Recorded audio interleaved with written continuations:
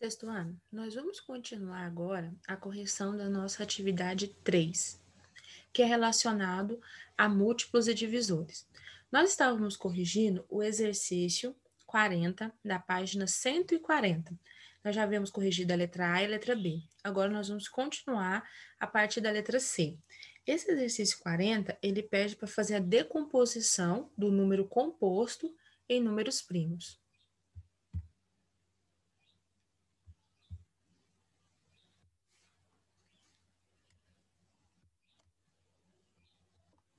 Para decompor um número em valores primos, você precisa primeiro lembrar quem são os números primos.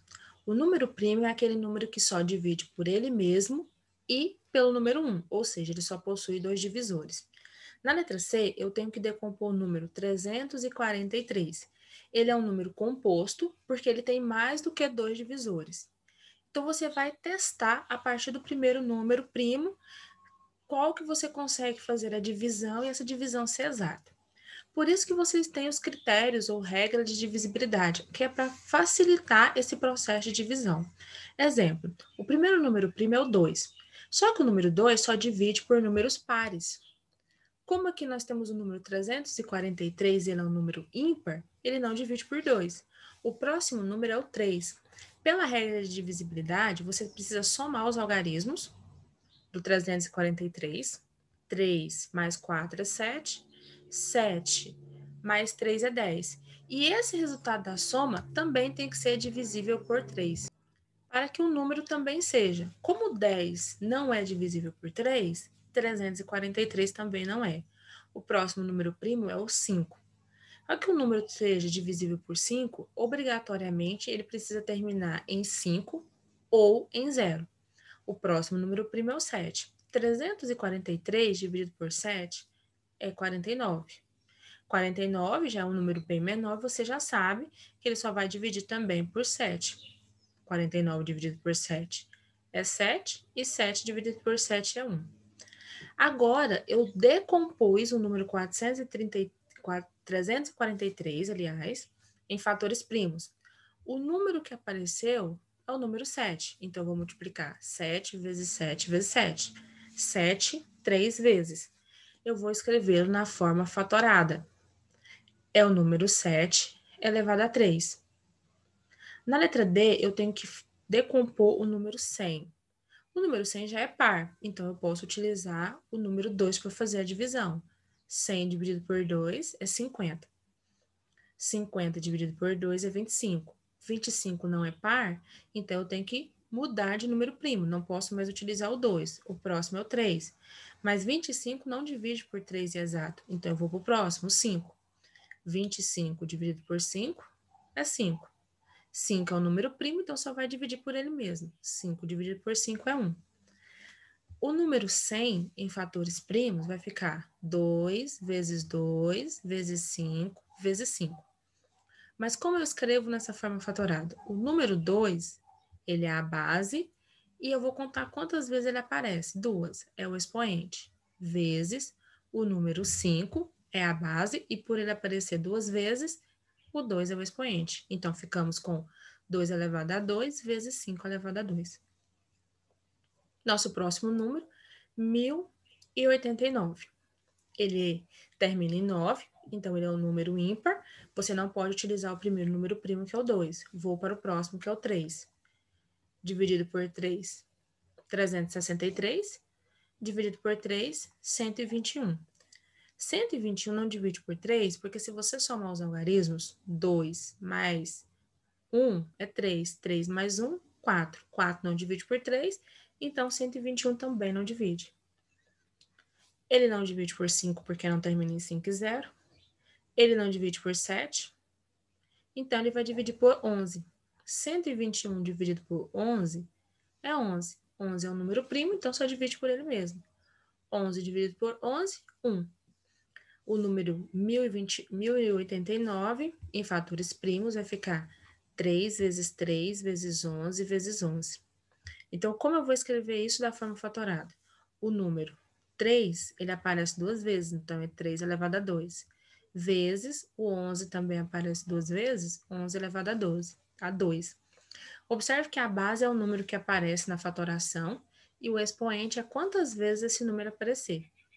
Se ele não aparecer, se ele aparecer apenas uma vez, você não precisa escrever nenhum expoente. Próximo exercício, número 41.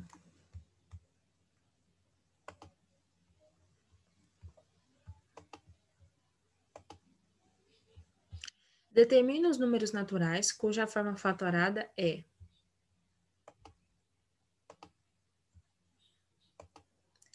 Agora, eu tenho um número que já está na sua forma fatorada.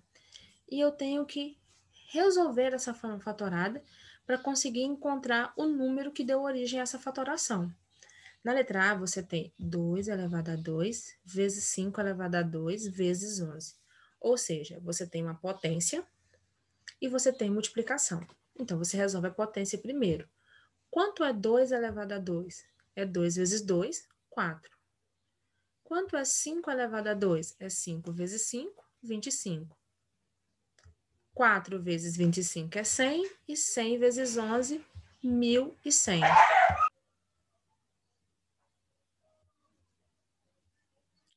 Na letra B, eu tenho um número 2 elevado a 2 vezes 3 elevado a 2 vezes 7 elevado a 2 vezes 11. Bom, eu vou começar sempre das potências. 2 elevado a 2 é 2 vezes 2, 4. 3 elevado a 2, 3 vezes 3, 9. 7 elevado a 2, 7 vezes 7, 49 vezes 11. Observe que o número que aparece na base, você vai multiplicá-lo quantas vezes você tem no expoente o valor. 4 vezes 9, 36. 49 vezes 11, 539. Vezes 36, 19.404. Na multiplicação, você pode multiplicar na ordem que você achar melhor, mas se tiver potência, você tem que resolvê-la primeiro. Letra C. 3 elevado a 3 vezes 17 eu tenho a base 3 e o expoente 3. Então, eu vou multiplicá-lo 3 vezes. 3 vezes 3, 9. 9 vezes 3, 27. 27 vezes 17, 459. Letra D. 11 elevado a 2 vezes 13 vezes 17. 11 ao quadrado é 11 vezes 11, 121. Vezes 13 vezes 17, 26.741. Próximo exercício, número 43.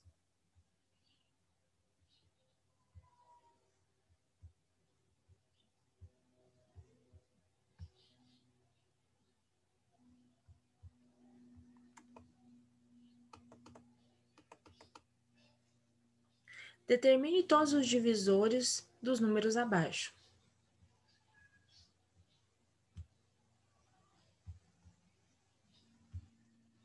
Divisores são aqueles números que eu posso dividir e a divisão ser exata. Bom, eu posso então pegar o número que eu quero e dividi-lo por todos os números até sua metade.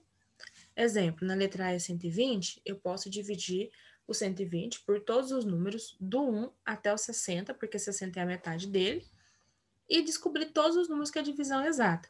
E depois eu só acrescento o próprio número. Por quê? Entre os divisores, tem dois que são fixos. É sempre o primeiro o número 1 e sempre o último o próprio número. Ou nós também podemos utilizar uma outra forma para encontrar esses divisores. Ela consiste em escrever o número e fazer um risco. Você primeiro vai calcular, você vai escrever os números, vai decompô-lo em fatores primos. Você vai decompor esse número composto em números primos. Então, o primeiro passo, eu vou escrever o número e vou dividir. 120 dividido por 2, 60. 60 dividido por 2, 30. 30 dividido por 2, 15. 15 não dividido por 2. Vou para o próximo número primo, 3. 15 dividido por 3 é 5. 5 é um número primo, então só divide por ele mesmo. 5 dividido por 5 é 1. Então, o primeiro passo é só decompor o número. No segundo passo, você vai fazer um outro risco vai escrever uma multiplicação acima do primeiro número primo que você utilizou e ao lado dele vai sempre escrever o número 1. Por quê? 1 não é divisor de um número primo, de, de qualquer número, aliás. Então, o 1 eu começo com ele. Porque eu pus um x para dizer que nós vamos multiplicar esses números primos que nós encontramos pelos números que nós vamos encontrar como resposta. Sendo o primeiro, a primeira resposta de número primo que nós encontramos, sempre vai ser 1. Se o número repetir, se a resposta repetir, você não precisa escrever duas vezes. Então, vou começar do primeiro número 2. 2 vezes 1, 2. Acabei, vou para o próximo número 2. 2 vezes 1 é 2, mas já tem um 2 escrito. Então, eu vou pegar esse segundo 2 e vou multiplicar agora pelo 2. 2 vezes 2, 4. O terceiro número primo, o que nós utilizamos para dividir o 30, é o número 2 também. Você vai multiplicar ele por 1, vai ser 2. Por 2, vai ser 4. E por 4, 8. Observe que eu só estou acrescentando aqueles que eu ainda não tenho como resposta. Os que eu já tenho como resposta, que já está escrito antes, eu não estou repetindo. Vou para o quarto número primo, que é o 3, e vou multiplicar. 3 vezes 1, 3. 3 vezes 2, 6. 3 vezes 4, 12. 3 vezes 8, 24. Vou agora para o próximo número. 5, eu faço o mesmo processo eu multiplico o 5 por 1, que é 5, o 5 por 2, 10, o 5 por 4, 20, o 5 por 8, 40, o 5 por 3, 15, o 5 por 6, 30, o 5 por 12, 60 e o 5 por 24, 120. Todos esses números que estão de preto, eles são divisores de 120, ou seja, todos esses números você consegue dividir por 120 e a resposta ser um número ser resto zero, ou seja, ser uma divisão exata. Então, para ficar na ordem, nós escrevemos que D de divisores de 120 é igual a 1, 2, 3, 4, 5, 6, 8, 10, 12, 15, 20, 24, 30, 40, 60 e 120. Observe que depois do 60, você já pula para o 120. Ou seja, depois da metade do número, é somente o próprio número que é nosso divisor.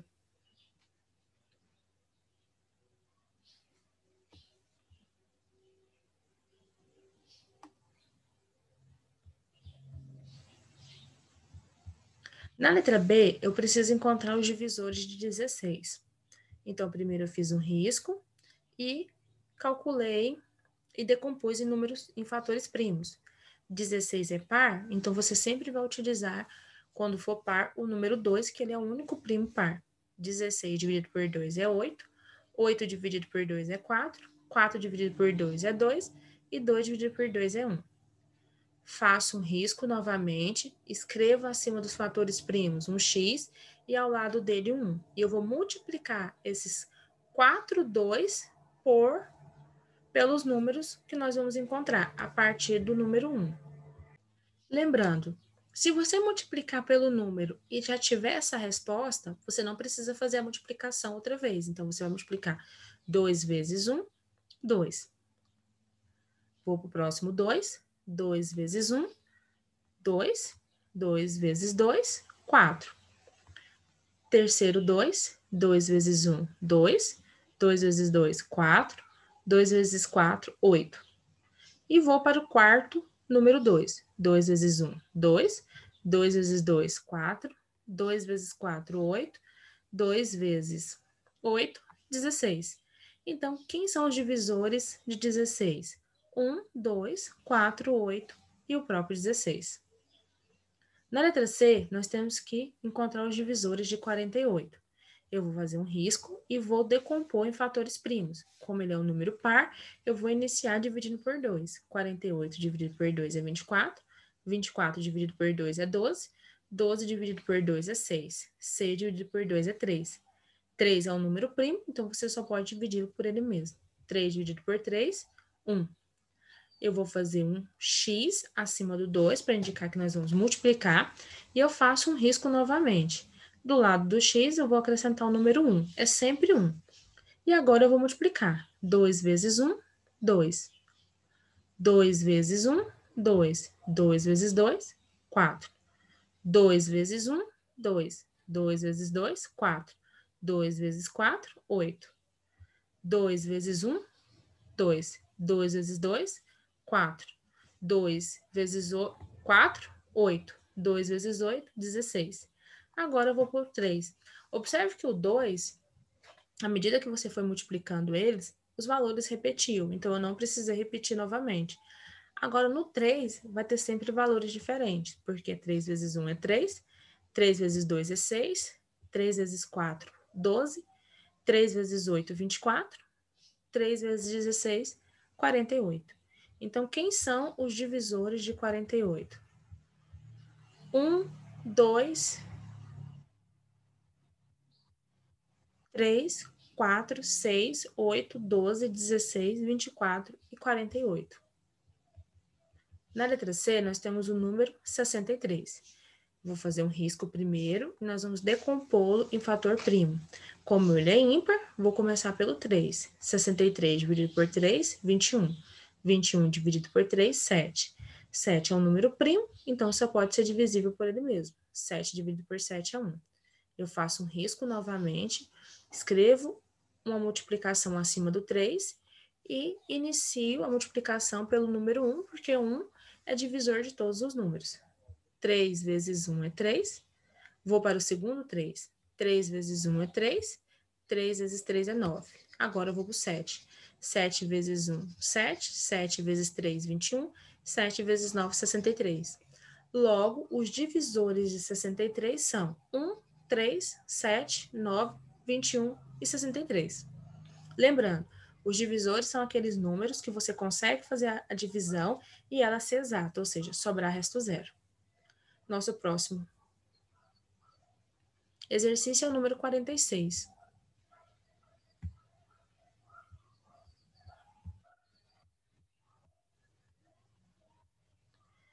Sendo n 2 ao quadrado vezes 3 ao quadrado vezes 5, responda.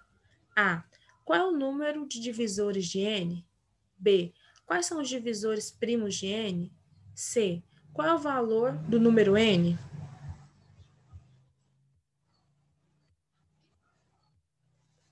É sempre bom você estar atento ao que ele está perguntando.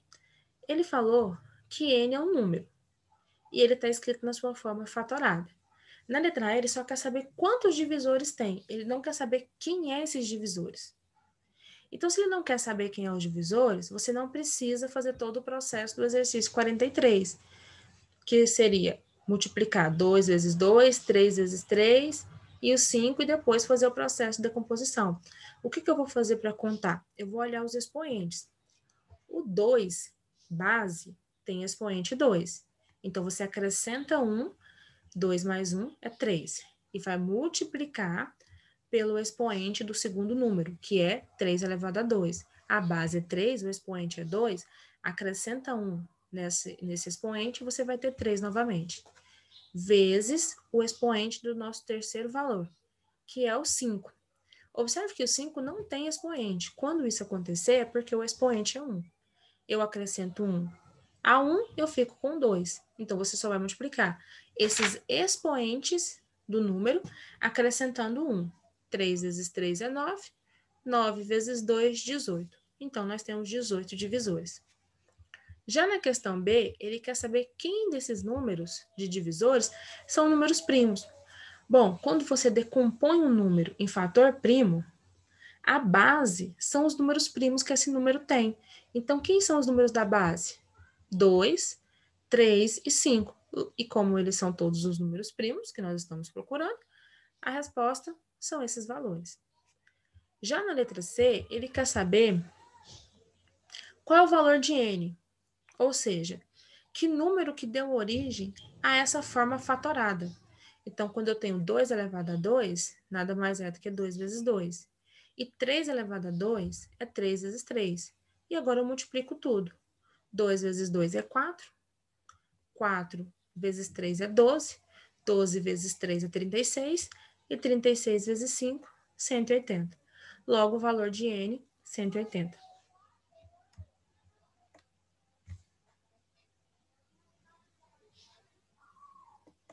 Nosso próximo exercício é o número 47.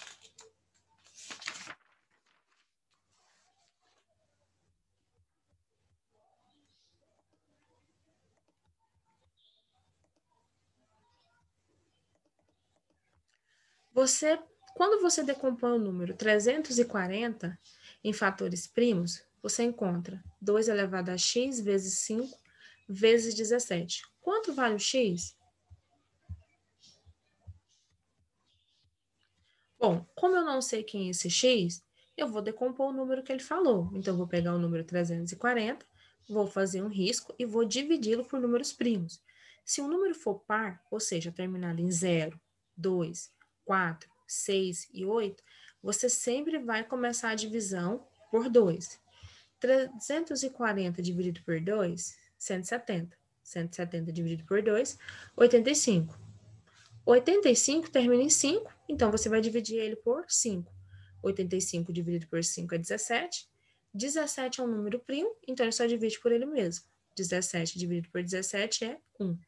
Ou seja, o número 340 nada mais é na sua forma fatorada do que 2 elevado a 2 vezes 5 vezes 17.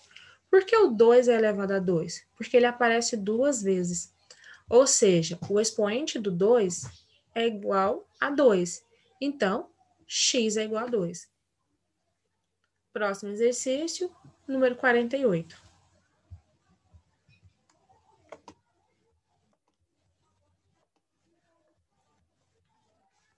Qual o valor numérico da expressão 15 elevado a 2 mais 255 dividido por 3 elevado a 2 mais 1?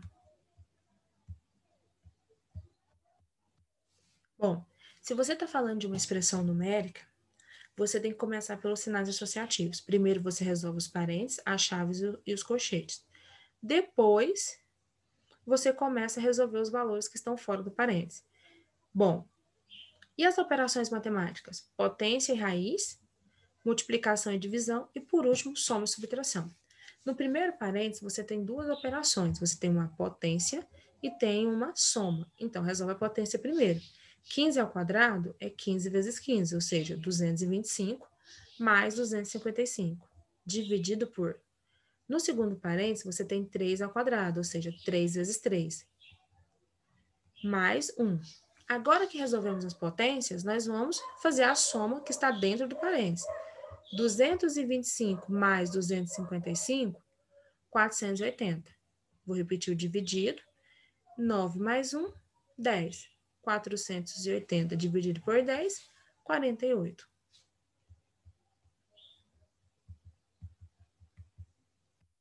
Nosso próximo exercício, número 51.